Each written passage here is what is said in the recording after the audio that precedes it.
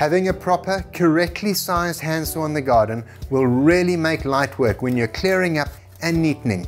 And with a number of saws to choose from, it boils down to firstly, what type of cutting are you doing? And secondly, what size saw is suitable for your needs. Bow saws get their name from the archer's bow. Now don't let this small saw fool you. Have a look here. It also takes a standard hacksaw blade. Suddenly I have a multi-purpose saw. Now the gap between the blade and the handle also increases with blade length, and this is important when deciding what to purchase. This saw will only be able to cut a branch with a maximum thickness of 100 millimeters, whereas this one will cut up to 200 millimeters.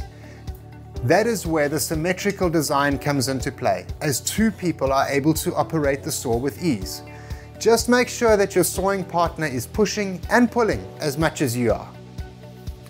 The teeth on these blades are sharpened on both sides, so the saw is cutting on both the pull and the push motion. A triangular bow saw is designed for single person use and is therefore more compact and lighter than the larger ovate models, by not having the double-ended holding position. These models come with a handy blade guard and are just as easy to use.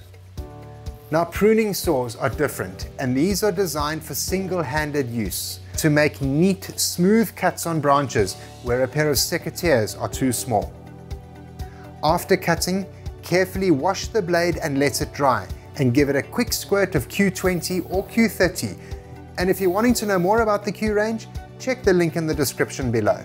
Always make sure when purchasing a new blade that you match the length of the saw you have as these blades are available in a number of sizes.